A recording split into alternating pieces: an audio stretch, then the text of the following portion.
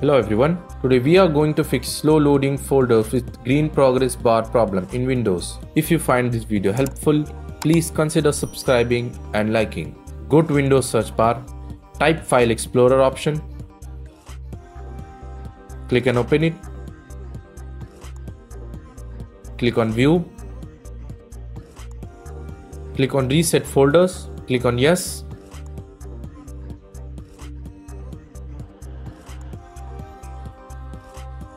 Check launch folder windows, click on apply, click on OK. That's it. Your problem will be fixed. Thanks for watching.